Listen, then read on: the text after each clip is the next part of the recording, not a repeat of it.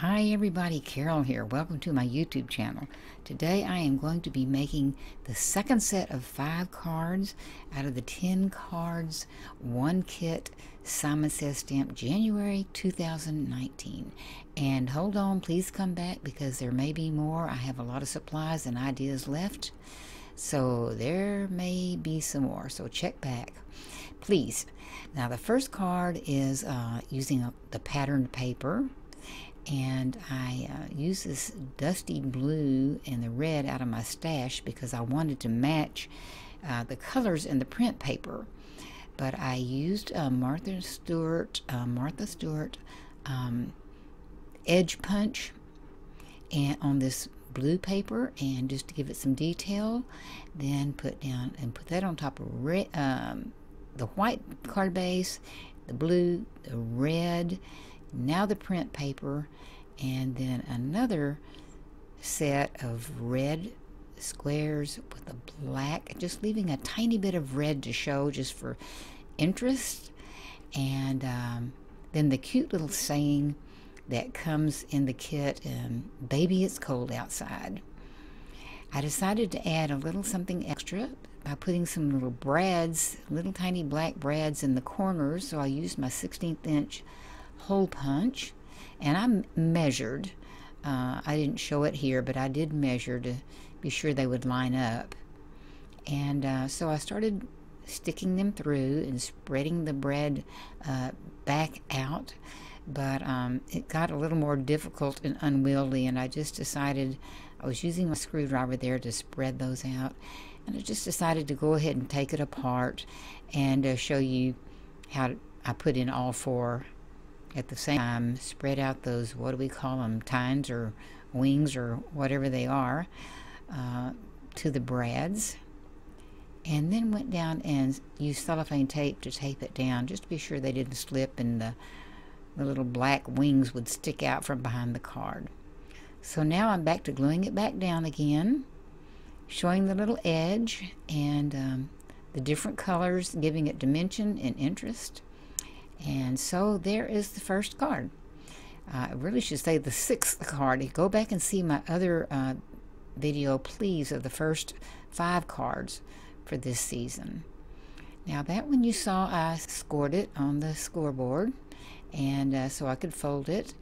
And, and now this is going to be using pattern paper again.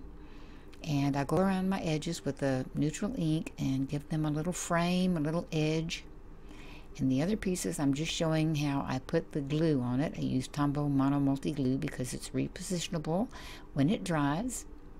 And so on the card base, I'm putting down a layer of brown. Don't worry about that hole down there. It's going to be covered up. and then the beige snowflake paper. And then that dusty blue again. And then I remembered, uh-oh, well, I, will go ahead and put the aqua down, and then I remembered, uh-oh, I forgot to put down the white.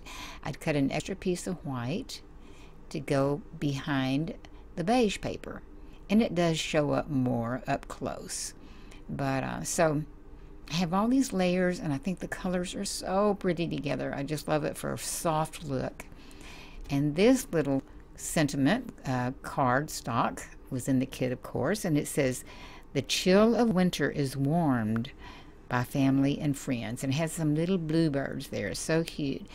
Now these snowflakes, I've shown them in other videos of mine, but this is the Darice die called Snowflake Border.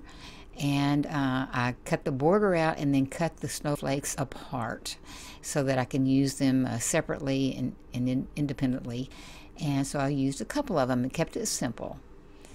So the next card three is not in essence a card, but uh, it could be. But these uh, black tags that are so striking were in the kit, three of them. So again, I wanted to play with the uh, pattern papers, and so I played and played with them and mixed them up, which ones I thought looked good together, which ones I liked together, I'll put it that way. And uh, I was going to put them just right up against each other, butted up against each other. And then I thought, well, I could use a black strip of cardstock to add some emphasis. And I thought, well, why should I do that? I'll just, when I put them down, I'll just separate them and the black cardstock of the tag will show through. And as you can tell, the uh, pieces of pattern paper are not the same size.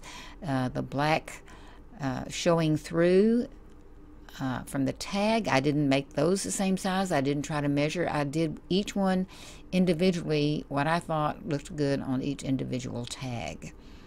And um, then the next question was what to put on top.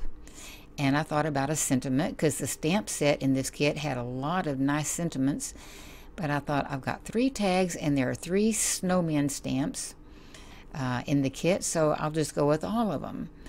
And this is what I call the baby.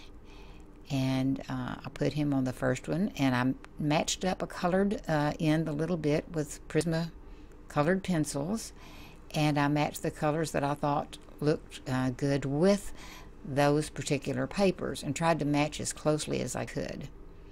Now the next one is a, a guy with his top hat bringing a gift. And I really like him. Put him in the middle. And then the third one, which is, I call her the mother because I think she's the mother of the, the little child there. But uh, I kind of moved her off to the side, off center, and uh, just did it individually, each one. Now, the you know, I told you once before that I used to machine knit, so I have a lot of yarn, and so I did have the privilege of going and picking out yarn that would match the aqua, the red, the blue, and then some white, and I separated them into one and two ply. But uh, poke them through the hole. I like for the knot to be on the front to show because it shows um, the colors of the yarn better, I think. So I stick them in from the front, fold it in half, stick it in from the front, make a loop, pull the remaining yarn through, and this one, the little red yarn wanted to pooch out, so I had to tighten it up there. That's the reason I'm fiddling with it. Uh, but then um, show the yarn through there, and you can always go back and trim it if you like your tails shorter. I cut them kind of on an angle so that they'll have a little difference to them. There are the three cards, and I just actually loved them, and they're so simple, but I love that black. I'm just going to show how you could definitely make a card with these and just do something for your background. And uh, then uh, the envelope that comes in the kit, there is a red envelope. These would very easily, all three fit. One or all three would fit in this envelope with absolutely no problem, and it makes it would make a cute card also. And then on the back, you could write something, the date or your name or to and from. Or you could actually use one of the sentiments on the back. I'm snow in love with you. Something like that. Or There are uh, thanks. There are a lot of thanks, or some thanks stamps. And uh, so these are reasonably easy to work with because they're fun too. It, it's um, fun to play with colors and the prints. Little close up there. And you can see the difference in the, in the paper and the width and the height of the different papers. And then there's the yarn. I also like those tan or brown uh, reinforcements around uh, around the holes. Okay, so then the next one, I'm going to do some stamping uh, and use some of these uh, snowmen. I'm going to use, I'm going to call them the mommy and the child. Um, you can interpret that any way you, you want to. I'm putting the mom down and the child, and we're going to have a celebration. This is going to be a celebration card. I was just showing how I stamped some off on copy paper and use them to help me in my placement. Cut them, cut them out roughly, and then where would I want the igloo to go? Where would I want the people, well, people, the snowmen, snow people to go? And then also, of course, you can always use it for a mask also. So I'm trying to match up the colors of the little pom-poms that are in the kit because I'm going to be using those. You'll see that. So I'm coloring in with um, pinks and greens and blue, and there's a indigo blue, uh, almost purple, I guess, a dark purple or violet, and um, yellow. And so anyway, try to do a little bit of shading and highlight some of the colors. And I do go back and color the igloo a little bit pale blue also, but you see that later.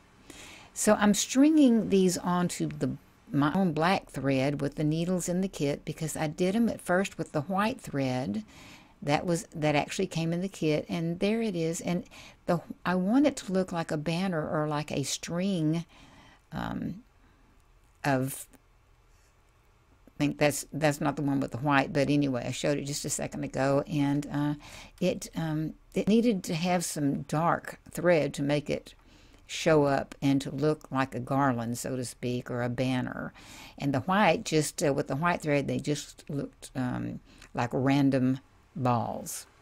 So now I'm using this very simple die I bought a long time ago, and I tried to match up the colors uh, the, of those balls, and I cut out all these. It says "Let's Party," so I cut them out in a lot of different colors, and easily could just do Let's Party in one color or two colors. I decided just for fun to cut up the different letters. They're easy to cut apart, and uh, just put them together and reform the word and glue them down. Even different color for the uh, apostrophe and for the exclamation point and even the dot at the bottom of the exclamation point. So uh, that's what that looks like. And here are the pom-poms as a banner and as the child and the mother are holding them in their hands and uh, the long streamer and they're going to work with them together to decorate and those are tied the black thread is tied on the back of the white card with cellophane tape to keep it in place as well as the glue on on some of the dots not every single one some of the pom-poms so I'd already put glue, Tombow Mono Multi glue on the backs of all these letters, kind of starting with the middle of the word and working frontwards and backwards. And I do go back and do a lot of tweaking. Uh, I wasn't real thrilled with the first layout, so I just started moving some of the letters around and uh, making them fit into the white space better. But I just really wanted this to look festive and partyish and happy. And uh, the, the mother and the child stringing the pom poms and then uh, putting them all over their igloo area for decoration. Now, I wasn't thrilled completely with the green background. I wanted more, so I put a piece of pink from my stash and a piece of blue from my stash and made that bigger. And what I was showing there was that was like the other card that I made where um, it's a card with some backing pieces. Now the next card is going to go back and use the pattern paper from the kit. And um, there are three little pieces of the uh, cardstock with print on it and sayings, almost like little postcards. And so I'm building up for each one of those. Uh, you can see the aqua and the blue and then red background. I picked up the wrong piece of black. That piece of black went down on the bottom. It fit down there. Uh, white and black, aqua and black, red and black. And then here's the first of the little sayings that says, If kisses were snowflakes, I'd send you a blizzard. And then the other one, we all love winter, and then hot chocolate is like a hug from the inside. Really cute. So here are some more of those snowflakes from that trim that I got, uh, a package my daughter gave me, and she said she bought that trim at Hobby Lobby, by the way. So I cut it apart, one little piece, and fit it in because I'm going to put this little baby snowman on top and I just thought he needed something more behind him than just one snowflake. I'm building up his head with some um, foam tape to keep him level. And then I thought there's something missing. We need a little bit more of that snowflake to show the way it would realistically be. And so I'll just cut off one more little piece of snowflake and I'll zoom it in and let you see. It just looks more realistic that way. So that is it. Five cards very quickly. I hope you enjoyed it. I do have to rush through these to keep it from being too long. But uh, I hope you'd enjoy you enjoyed and there'll be some more videos at the end. And do please do come back because I'm almost positive I'm going to have more. Thank you so much for joining me. Bye-bye.